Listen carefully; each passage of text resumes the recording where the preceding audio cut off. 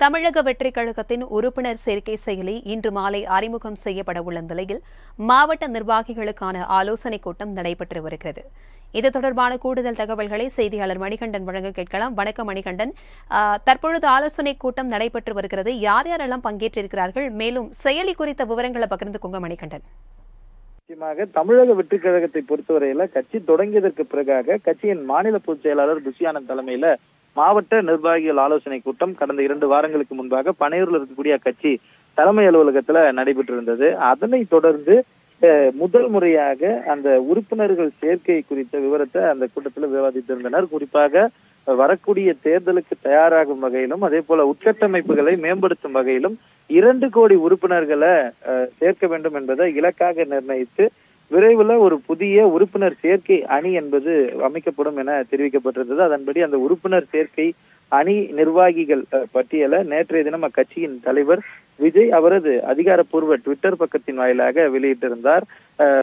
காலத்தைச் சேர்ந்த விஜயலட்சுமி என்ற பெண்ணை மாநில செயலாளராக நியமித்து ஐந்து நபர்கள் கொண்ட மாநில நிர்வாகிகள் பட்டியலை நேற்று வெளியிட்டிருந்ததை தொடர்ந்து இன்று மாலை நான்கு மணிக்கு அந்த உறுப்பினர் சேர்க்கைக்கான செயலி என்பது அதிகாரப்பூர்வமாக அறிமுகம் செய்யப்பட இருக்கிறது. அதற்கு முன்பாக அந்த செயலியில உறுப்பினர்களை சேர்ப்பது குறித்தும் அதே போல ஒவ்வொரு மாவட்டங்களிலும் இந்த உறுப்பினர் சேர்க்கைக்கான சிறப்பு முகாம்களை நடத்துவது குறித்தும் அஹ், மாவட்ட நிர்வாகிகள் மத்தியில ஆலோசனை கூட்டம் என்பது அஹ், மாநில பொதுச் செயலாளர் புஷி ஆனந்த் தலைமையில நடைபெற்று வருகிறது. அவர்களுக்கான அறிவுரைகளை வழங்கி வருகிறார். ஒவ்வொரு மாவட்டத்தில் மட்டும் தொடங்கி அஹ், பேரூராட்சி ஊராட்சி ஒன்றியங்கள் என கிராமங்கள் தோறும் சென்று நேரடியாக முகாம்கள் அமைத்து நேரடியாக அறிமுகப்படுத்தப்படக்கூடிய மாணவர் சேர்க்கை செயலியின் மூலமாக மட்டுமே இந்த அஹ், உறுப்பினர் சேர்க்கை என்பதை நடத்திட வேண்டும். அதற்கான அறிவுரைகளை வழங்கியிருக்கிறார். மேலும் உறுப்பினர் செயலை பொறுத்தவரையில தங்களது ஆதார் கார்டு எண்ணை கொண்டு உறுப்பினர்கள் அதுல பதிவேற்றம் செய்யலாம் என்றும் அவர்களுக்கான அந்த உறுப்பினர் அட்டை என்பது மாவட்ட நிர்வாகிகள் மூலமாக அவர்களுக்கு வழங்கப்படும் எனவும் முதற்கட்ட தகவல்கள் வாயிலாக தெரிவிக்கப்பட்டிருக்கிறது. நான்கு மணிக்கு செயலி